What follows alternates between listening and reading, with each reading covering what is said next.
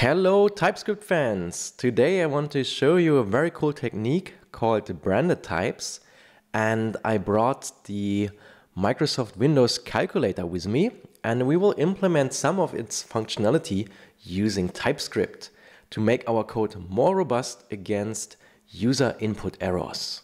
So maybe you've tried already to divide something by zero and when you do that here in the calculator, let's say 100 divided by 0, then uh, you will see an error that uh, we cannot divide by 0 because there is uh, yeah, a huge discussion in, in forums about if you can divide by 0 or not and if it is defined or not and if it is then uh, plus infinity or minus infinity. And I leave this to mathematicians. Yeah, I just want us to avoid this at any cost that a user can divide by zero. Because here in the calculator, it throws an error and in TypeScript JavaScript, it actually prints infinity. Let me show that to you. Because we have here a function that just does the division. Yeah, it takes A and divides it by B. And uh, I have here like my divide function. Also, let's uh, name the x maybe b, because then it fits better the concept of a and b here. And if b is 10, everything is fine, it will be 10. Yeah, let me prove that to you. yeah, first I also need to have a console log here, otherwise you won't see anything. And then if I execute my code, we'll have uh, the 10 here. But if I turn um, 10 into 0 and I divide 100 by 0, then we'll get to see infinity. And this can be uh, problematic because now our code will continue using uh, infinity and we will um, get some weird states. Yeah, let's say I have something called C and I put uh, C to the result of um, 100 uh, divided by 0, then C will be infinity. And if I then log C plus 1, then I will still have the infinity because infinity plus something is still like infinity. Um, and my code won't crash yet. It will continue to calculate with this. And I want to avoid that. So this is where I will use branded types and I will show you now how this technique is being built. So for a branded type, we need to create a new type. I will call it not zero because I want to avoid zeros here. And uh, I will say that this type is of type number. Now I just have a type alias. Yeah, it all starts with a type alias. The type alias is uh, called here not zero. And then I will make use of this type alias. So I will say that in the divide function, b must be of type not zero. It's still okay, yeah, because here b is a number and it fulfills the um, contract. It's compatible, yeah, like our zero here is compatible with our not zero type because it's simply a number. And this type compatibility doesn't help us much because it still doesn't avoid us to put in zero. So let's turn the not zero into a branded type. A branded type is actually just a convention. It's uh, nothing that TypeScript offers per se as a feature. It's something that you as a developer can make up. And we will make up a branded type by using an existing type here, type number, and we will combine it with a new type, which is an object literal. So we'll have here an object and uh, we will say that this object has a property that we will call, it, call brand. And this brand, uh, we will um, assign it to a string. So we'll say that the property brand is, in this case, not zero. Yeah, this is an identifier. We can name this brand any way we like. Yeah, some people tend to call it, for example, type. Some call it brand. That's why it's called branded types. And the underscores um, are also just conventional. Yeah, you can use one or two, but most people use two to uh, signal that this property is not an actual property that you use to calculate or print something. It's uh, just a meta property to indicate that this here is um, having a brand. Now you will see already that B is not allowed anymore to be put in.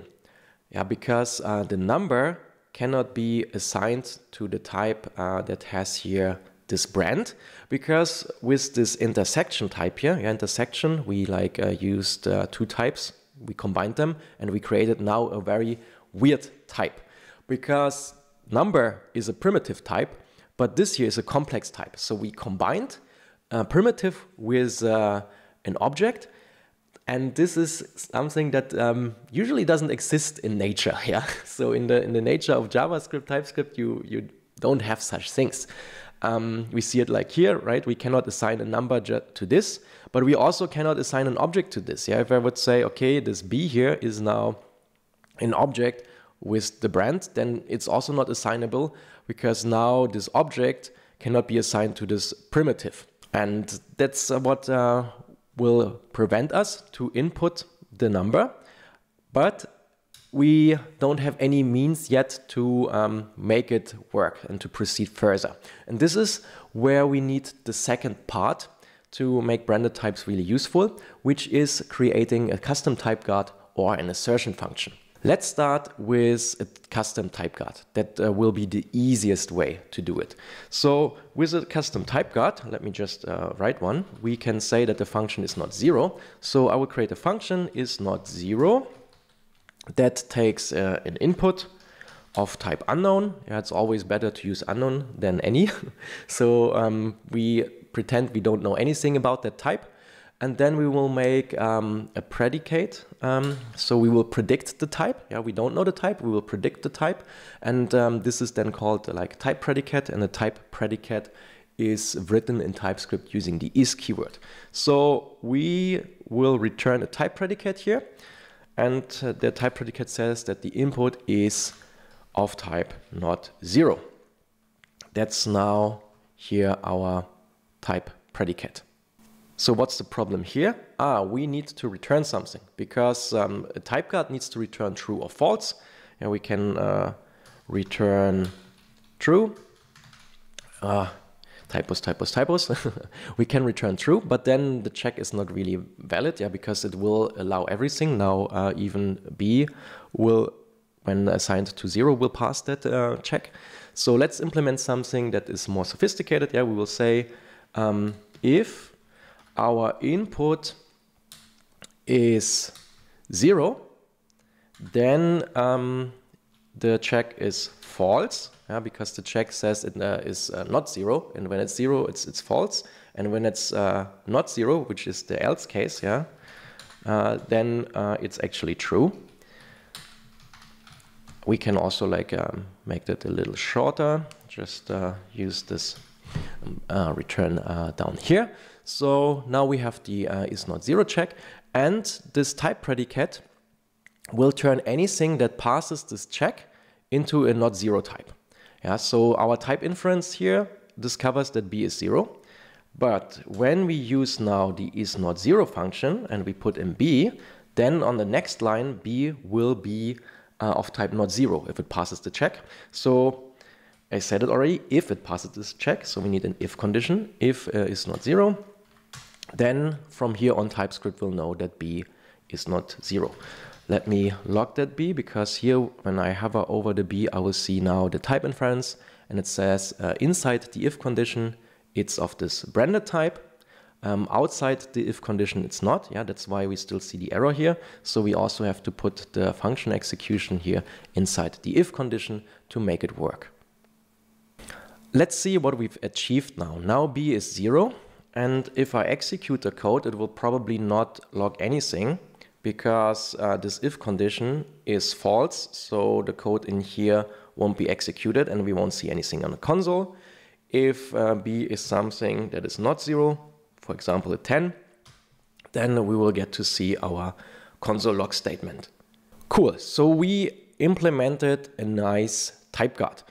But what I don't like personally is that we now indented our code and we uh, need to use another condition, this if condition, and uh, there is, uh, yeah, it can turn into like so-called spaghetti code if you have a lot of if conditions and indentations. Um, I would prefer to maybe have it like this, that we uh, do the check, and then that we just in the next line execute the divide function. But this is not possible here yeah, because uh, TypeScript cannot be uh, sure here that uh, b is not zero. So we, in order to achieve that, need to use an assertion function. An assertion function, on the other hand, is also a little, yeah, I would say brutal, because it can crash your code if something is not, um, yeah, fitting accordingly. And uh, this is what I will show you now. We can easily turn our um, type guard here, our custom type guard, into an assertion function. All we need is the asserts keyword. So this type predicate here will get uh, an asserts in the front. And uh, now we also need to change our return type because an assertion function doesn't return a boolean. An assertion function just makes a check and if the check doesn't pass, it will throw an error. Yeah, that's similar to the Microsoft calculator. So we saw here that it throws here an error. So I will also do the same. I will copy that error message and I will say that when the input is zero, I will throw a new error with that message. Now um, TypeScript will go through this and if it succeeds then it will recognize input to be of type not zero. If this check is not succeeding it will throw an error and it will crash our program.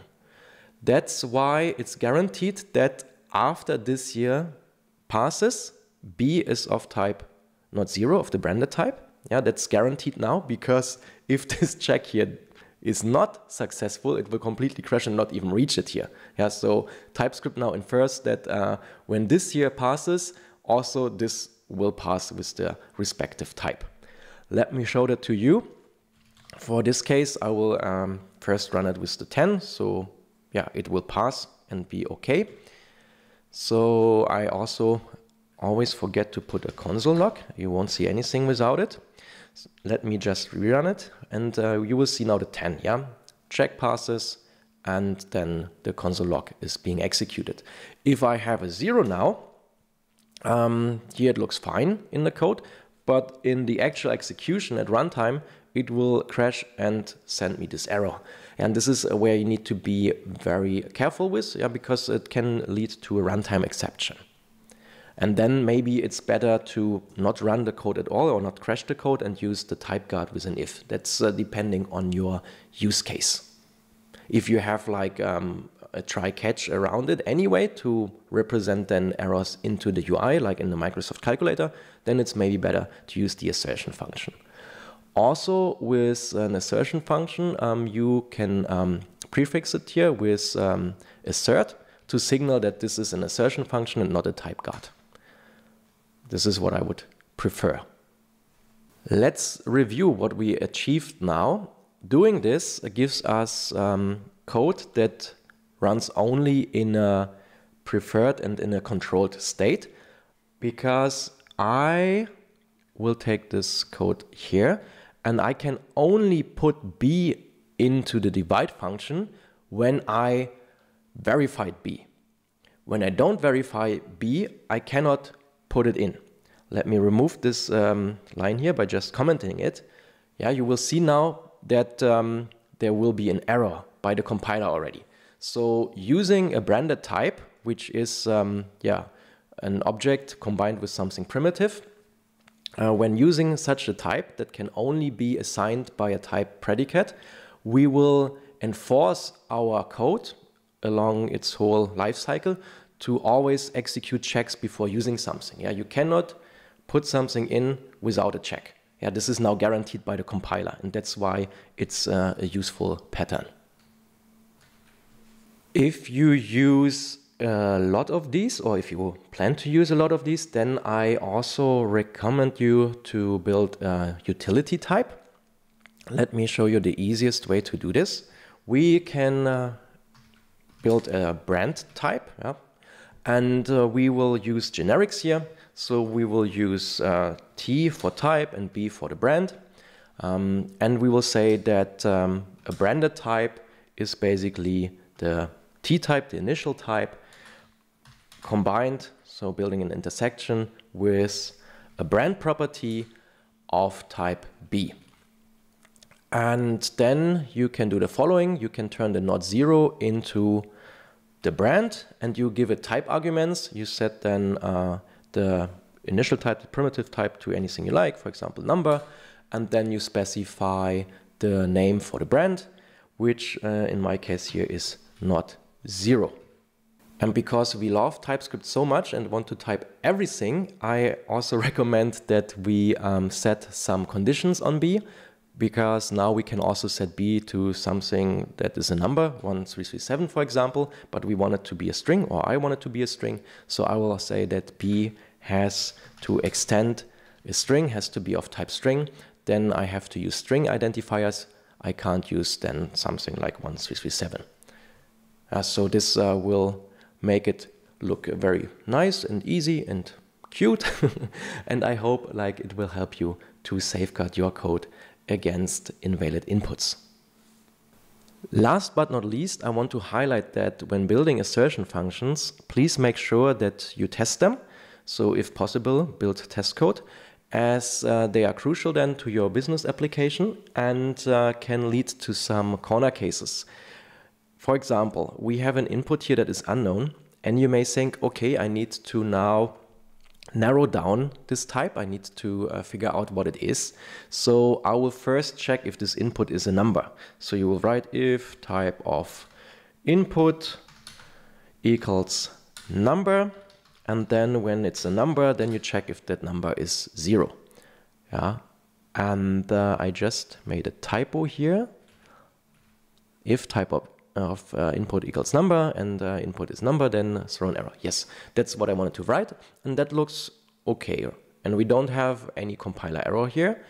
And when we execute our code, we will also get to see that it uh, crashes on dividing by zero. Now I have that condition that it needs to be of type number. So what happens if I actually put undefined? If I put undefined, it will survive because this assertion function here um, will just uh, think that this is not zero when passing it and the check will be passed because as undefined is not of type number it uh, won't go here and it will not throw an error so it will just execute. If we look then at the execution of the code we will see that um, no crash happened and if I log the output of it then I will get to see that we again have a value that we don't want to have because here it says not a number. So uh, the code continues and then it will calculate with not a number, which is not desirable. So really, really make sure that uh, the assertion functions are at the core of your business logic and are being properly tested.